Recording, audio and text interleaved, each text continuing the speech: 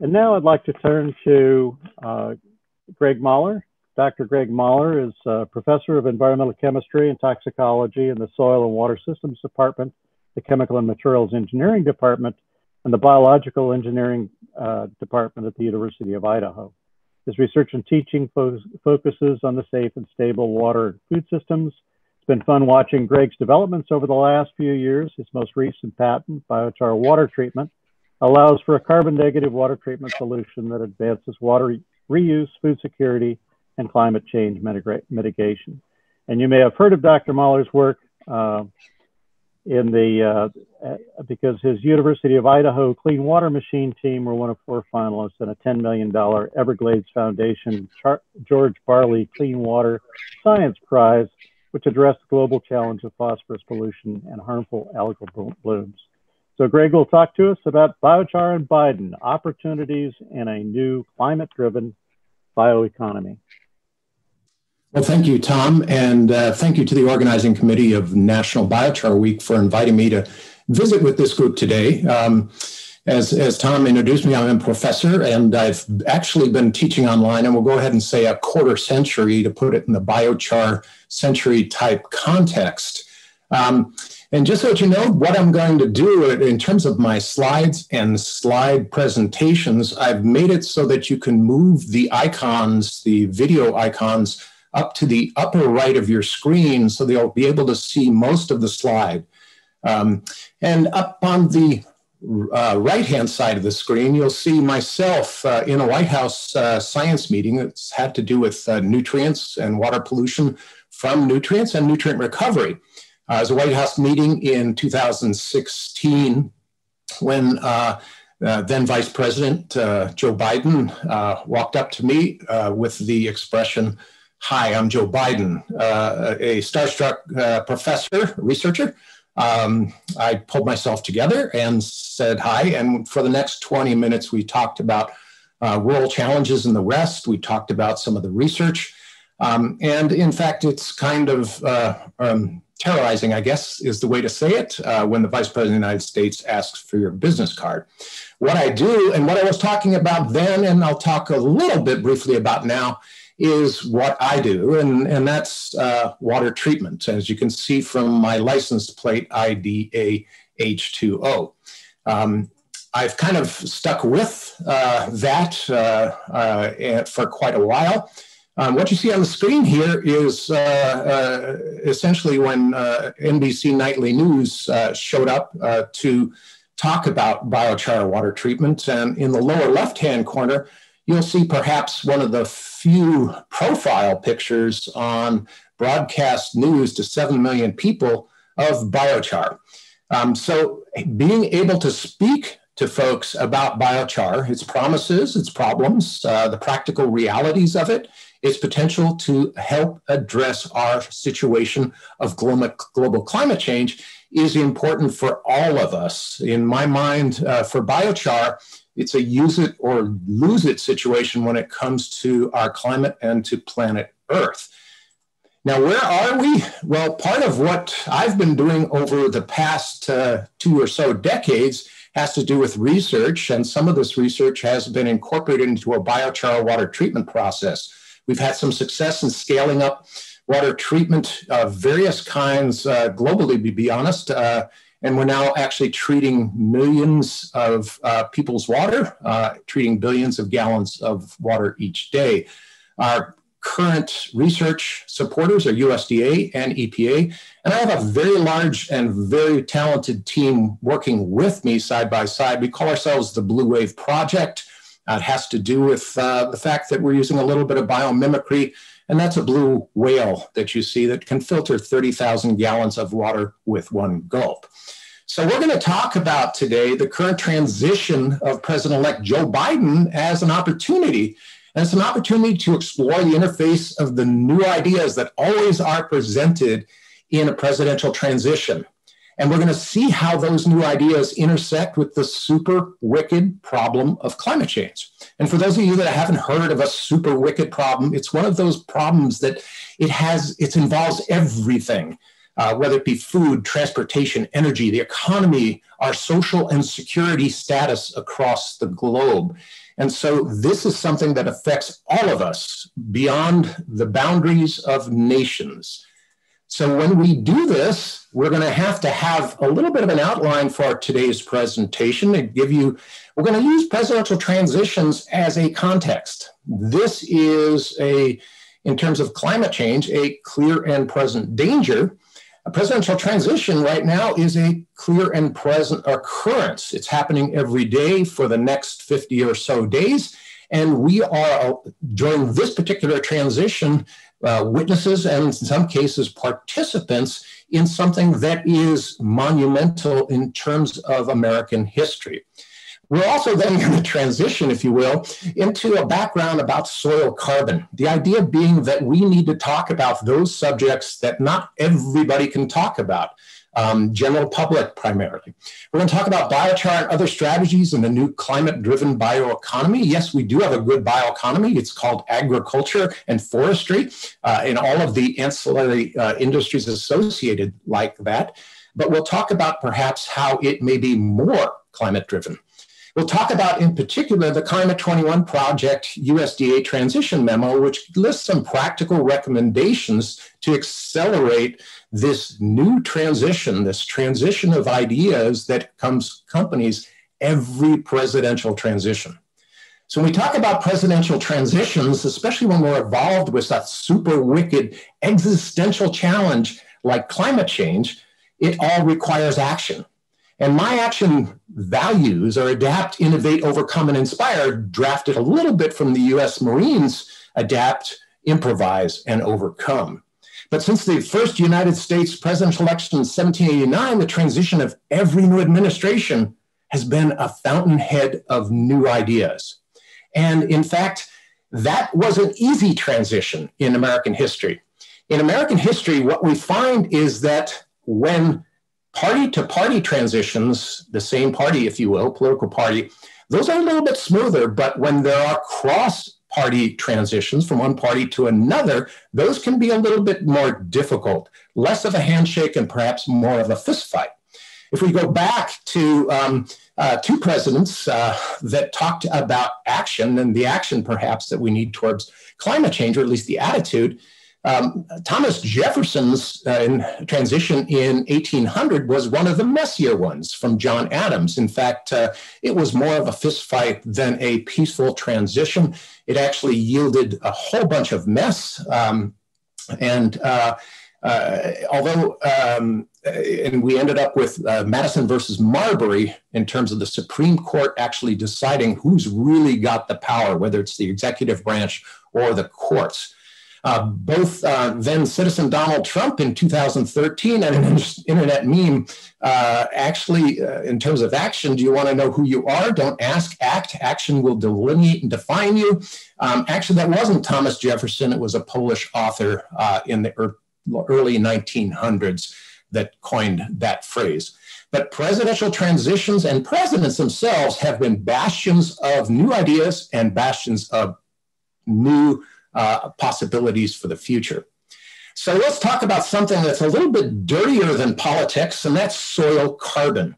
And so, for those of us that aren't uh, daily practitioners in agriculture, but we care about climate, we care about climate change and what we can do as individuals, how we can change the world for the better to address this existential threat. And so soil carbon, as it turns out, is a combination of organic matter and mineral carbonates that are in the soil. And soil organic carbon is actually the third largest carbon stock after oceanic and geological pools.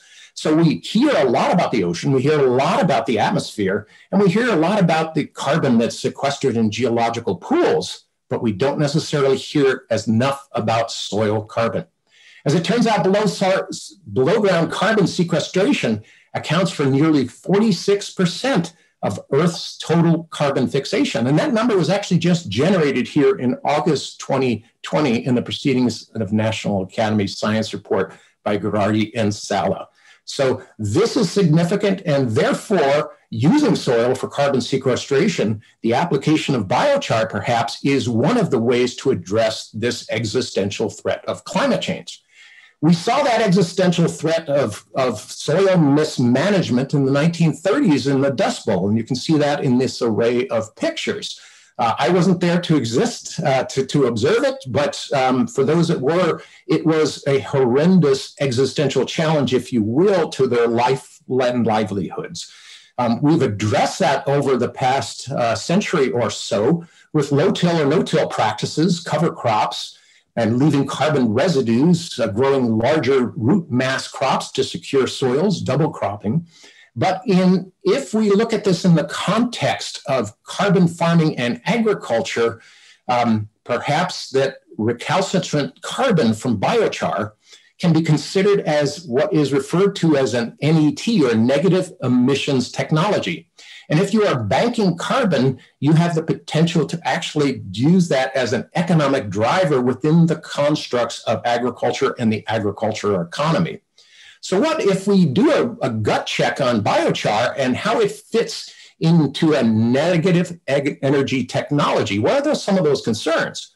Well, most of us know that for, in large part, we get improved soil quality with um, biochar, soil carbon sequestration, biochar whether it be by normal, like no-till practices, or with biochar application, that can increase agricultural productivity, water retention, and beneficial soil microbes. Those act to give us more food productivity, more food security. But sometimes uh, we have to deal with um, the, the amount of potential loading in soil carbon. Uh, it can only hold so much, and the reversibility that when you disturb soils, you can actually encourage release of carbon from soils. There's also another concern about the difficulty of measurement. How do we quantify, if we want to bank or look at carbon farming, how do we monitor and verify carbon removal in terms of a life cycle assessment? How do we do that in a practical, coherent, traceable way?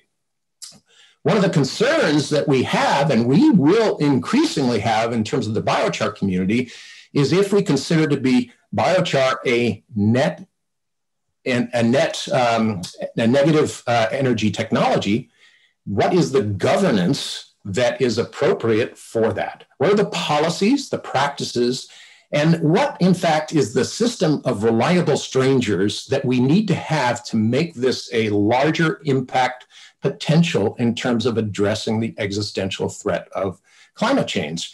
And so when we have sustainable biochar production, and we have monitoring and verification, we can encourage adoption.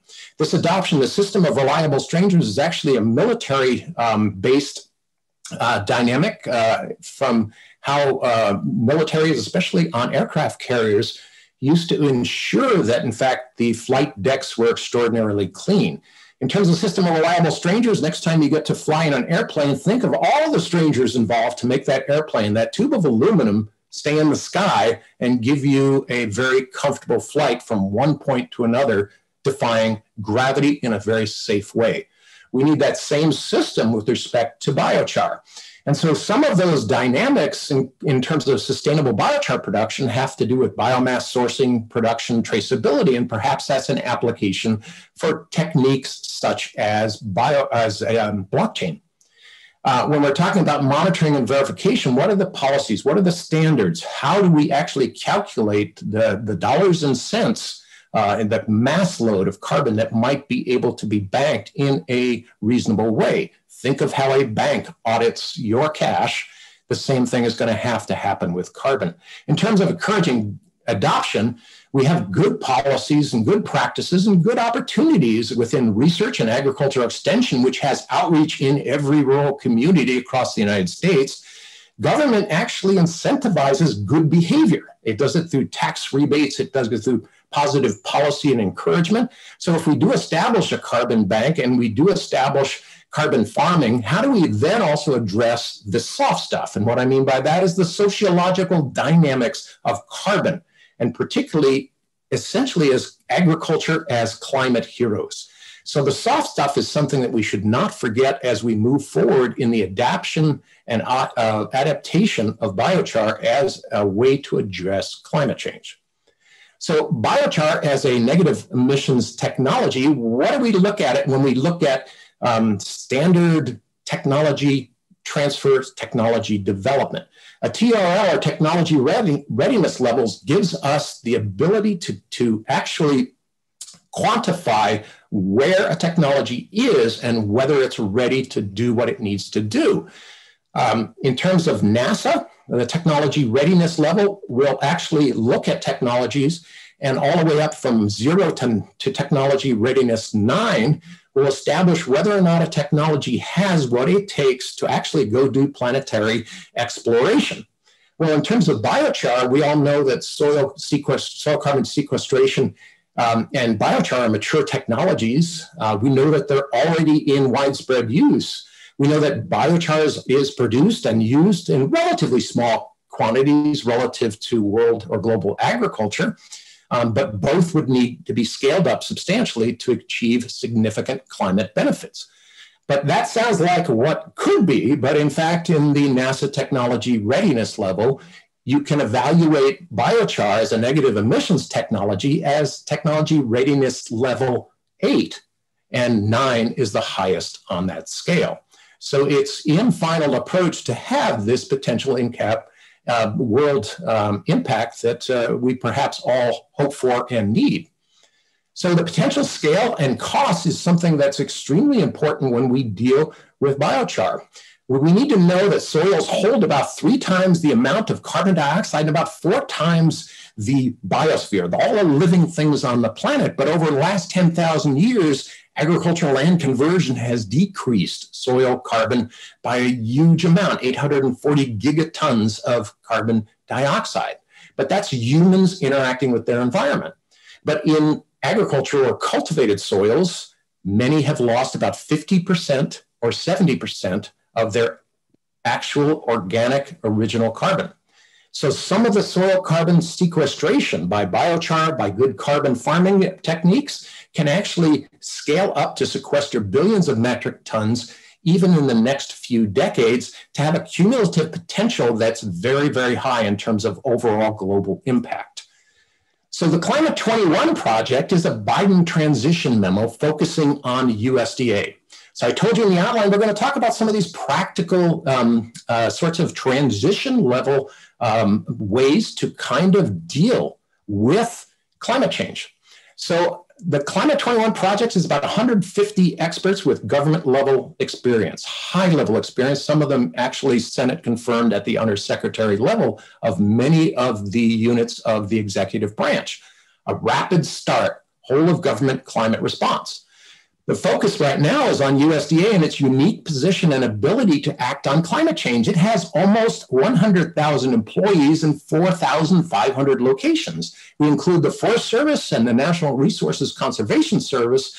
Um, it has the flexibility to target billions of dollars to climate smart practices and other initiatives the neat thing, the not, thing that I've really appreciated throughout my career about USDA and the Agricultural Extension Service is that it has both a rural and urban influence.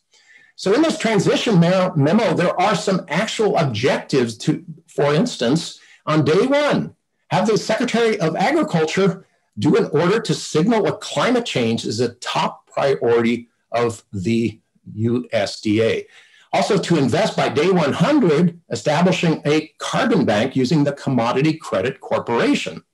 Thirdly, to incentivize, again in the first 100 days, incentivize climate smart agriculture and rural investment financial tools. A lot of what USDA does is rural development grants and loans. You can accelerate and initiate climate smart practices with the checkbook.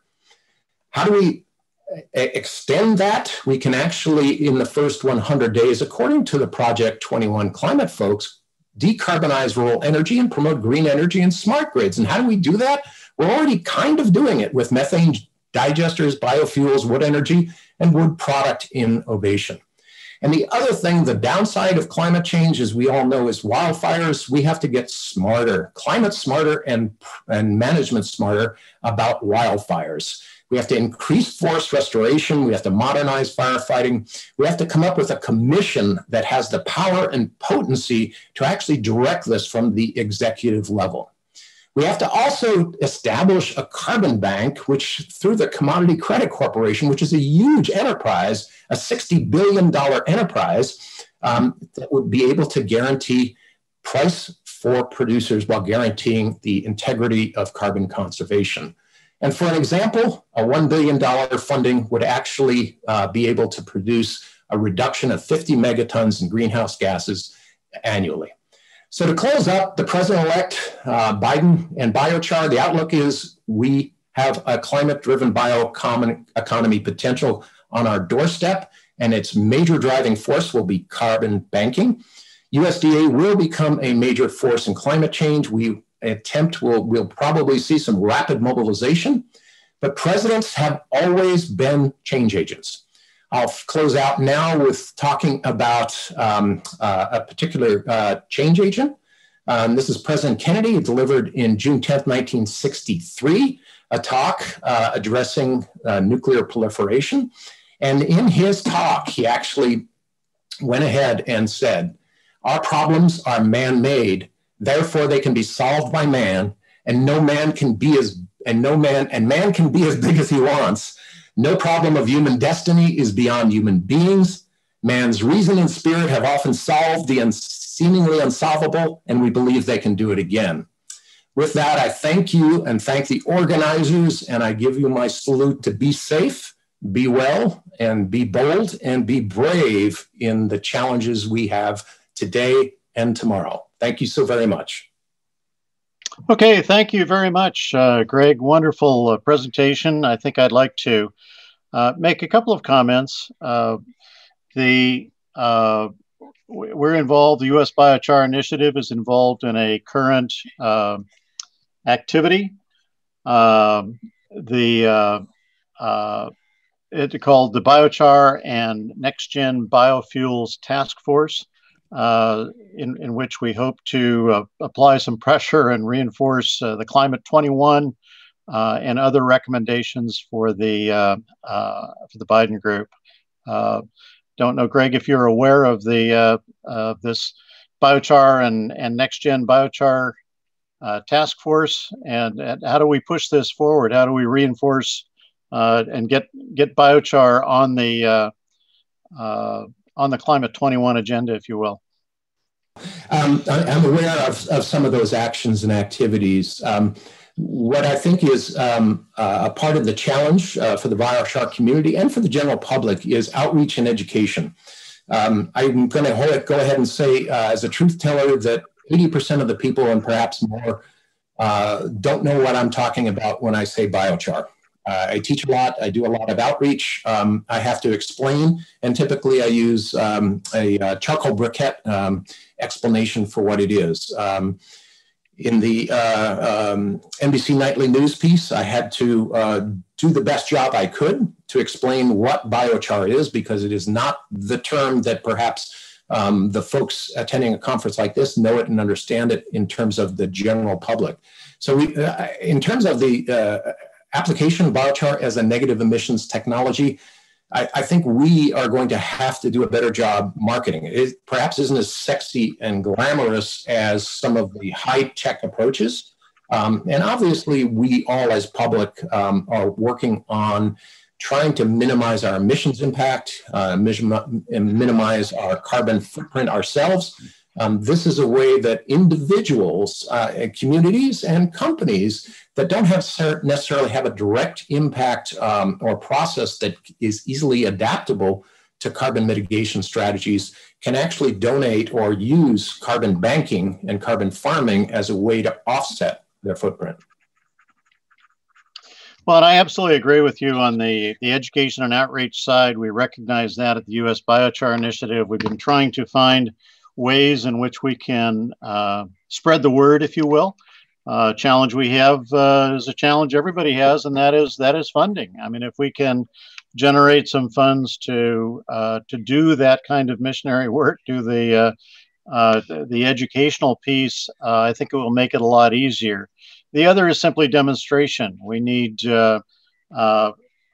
either commercial demonstrations or or public demonstrations of simply showing that that the biochar works. We're seeing, I think, growing evidence of, of people uh, now. For example, if I go to a major horticultural show, for example, Uh, five or six years ago, I used to have to have to explain what biochar was. Today, uh, the uh, uh, horticultural wholesalers, buyers, and so on, they know what biochar is. They say, "What do you have? What's the quality? How much? And when can you deliver it?" Uh, so that we are making some progress, I think, in the commercial side. But I think with the general public, we need to create more education and awareness. And I think that, as you suggested, most of the um, uh, sources, many of the people who are just getting into the biochar business, uh, I describe it sometimes as moving from a religion to an industry. There are those of us that are convinced that biochar is a solution, uh, but we have to be producing this at an industrial scale to be convincing. And we have very few industrial producers at this point. Um, and I know that you've been dealing with some uh, fairly large industrial producers, especially looking for biochars with consistent quality, with consistent specifications for your uh, wastewater treatment uh, and water treatment kinds of applications. And I guess what are your thoughts or what's your experience been with regard to finding sources of biochar uh, with consistent qualities that you that you need for water treatment? You know, in general, you you touch on something that um, is extraordinarily important in terms of when we encourage biochar use, we have to be encouraging something, and there's so many variables on the table. What we don't, when we are talking about, for instance, in my field, water treatment, and, and what we do in biochar water treatment, by the way, is we adsorb nutrients, uh, especially phosphorus and some nitrogen, onto the biochar, and then reuse it as a nutrient upcycled uh, soil amendment trying to capture that as a negative emissions technology, but also addressing some water quality needs and also addressing these harmful algae blooms, which are, by the way, a product of climate change and disruption of climate patterns.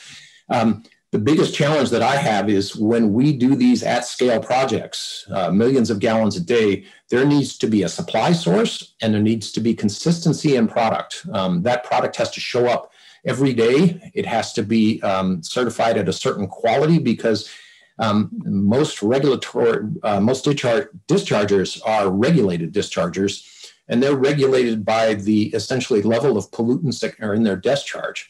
It's a very costly enterprise if they violate their discharge, their permit to pollute. Um, and so there has to be this reality that it has to be a commodity grade, well tested chemical that can be supplied very, very um, uh, in very, very high qualities.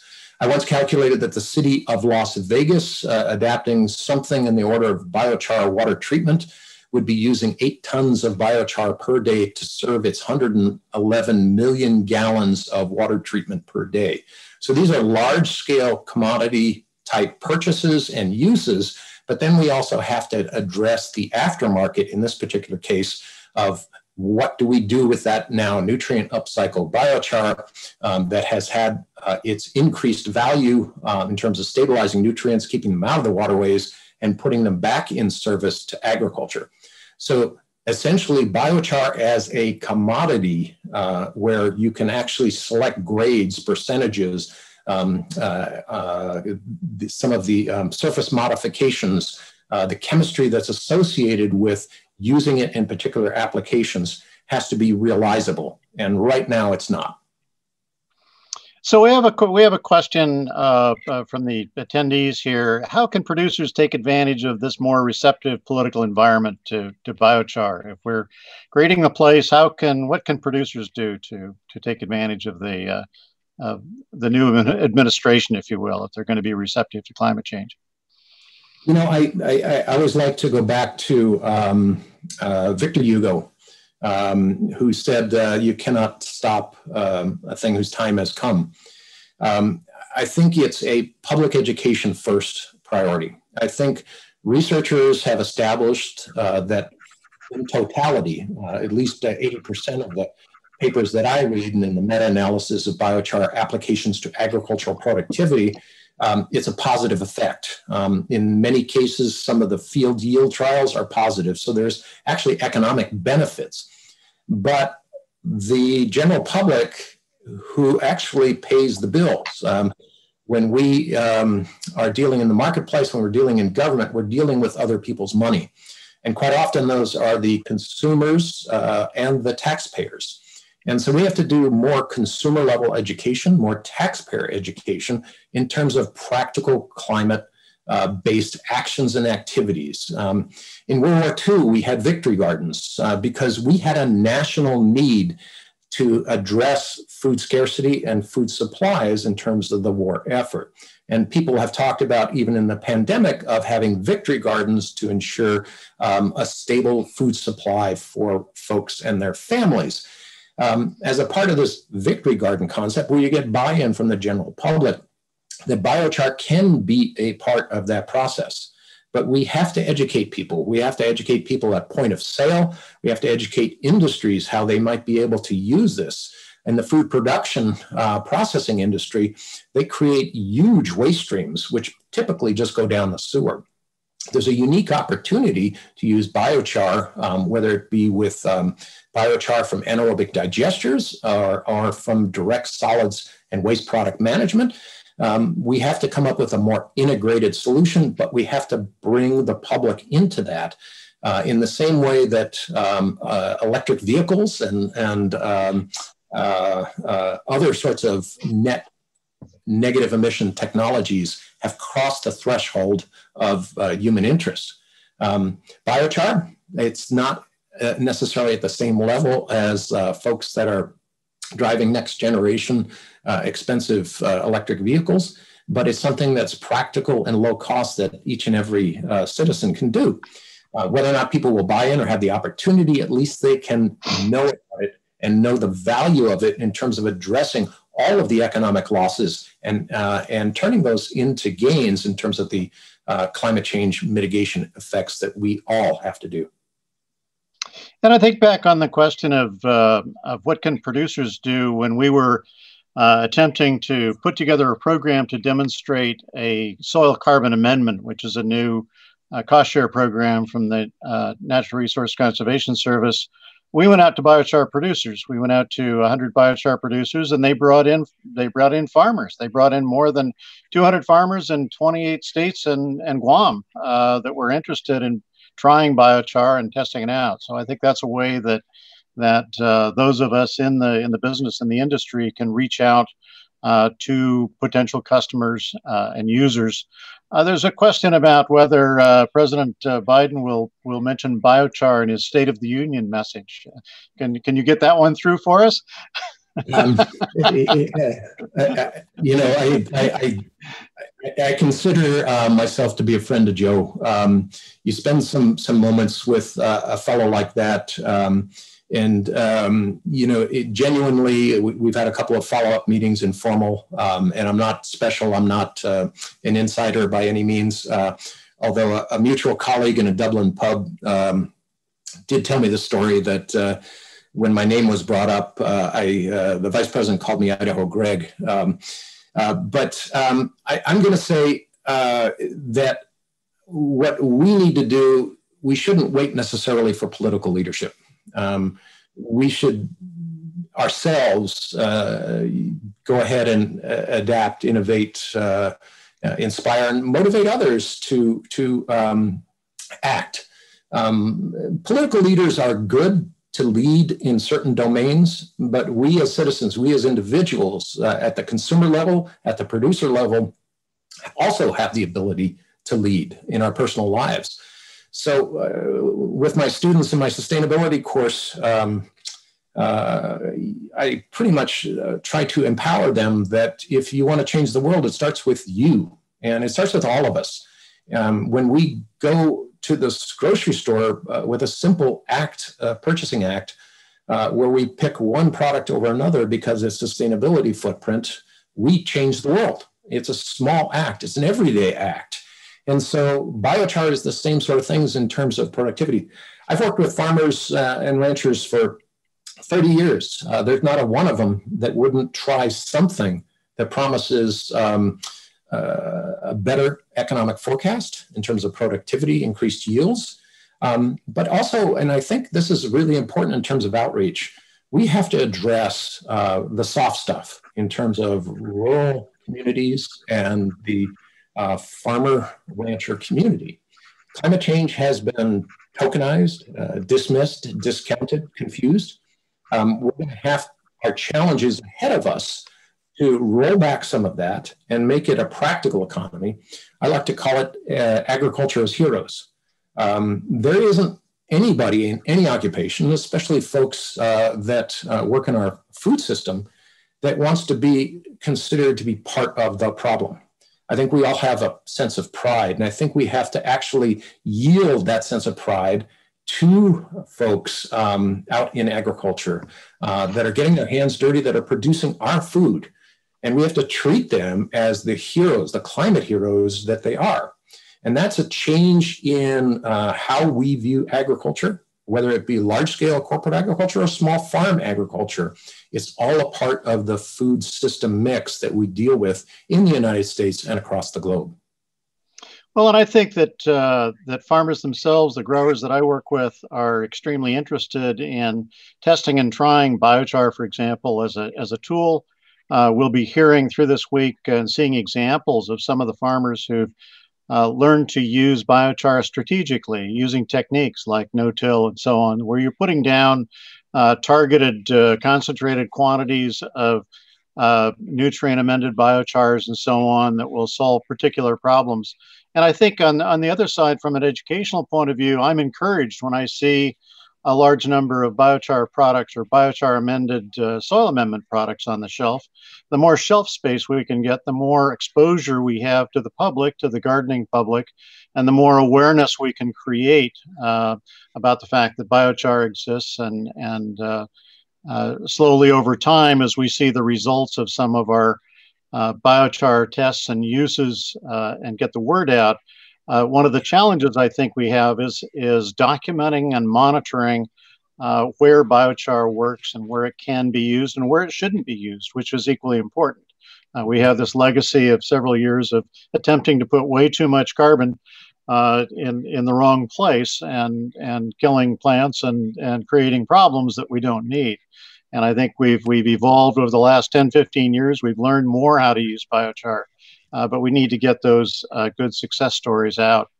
So one of the questions was whether uh, in this new context, um, uh, do you see biochar or uh, uh, programs, assistance programs for biochar getting down to to the farm level, to, to the small producer?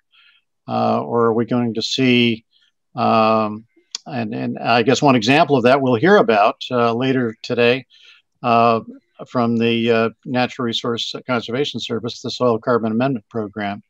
Uh, but but do you see in in a new administration that we would uh, hopefully see more of those kinds of policies and incentives?